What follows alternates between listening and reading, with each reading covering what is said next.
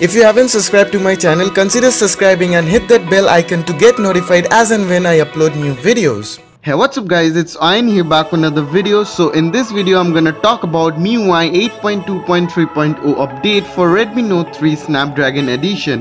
The description of the update states it to be a very minor 32MB update and just fixes some contact and gallery issues. But is it so or there's something more to it? Well let's find out.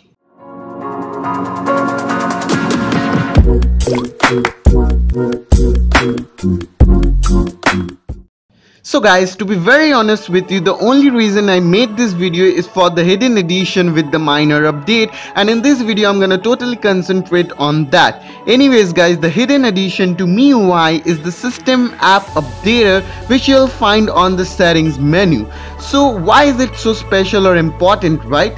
So basically guys from now you'll get individual system app updates starting from calendar, calculator, weather, security apps and so on and you need not wait for MIUI updates in order to get just a simple app update. You can very easily update the app similarly the way you do it on Play Store and if in case you are ticked to auto update via Wi-Fi you needn't even have to worry as it will do the job by its own.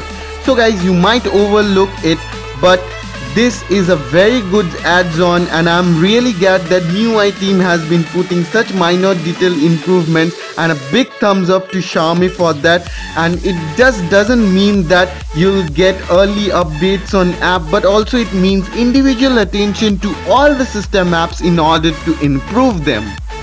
So guys that's all for today. If you enjoyed the video please give a big thumbs up and subscribe to our channel for more interesting videos like this. It's Ayan from the Tech Info signing off. Hope to see in my next video and do follow us on Instagram, Twitter, Facebook and also you can check out blog which I'm not updating at present. I'll soon.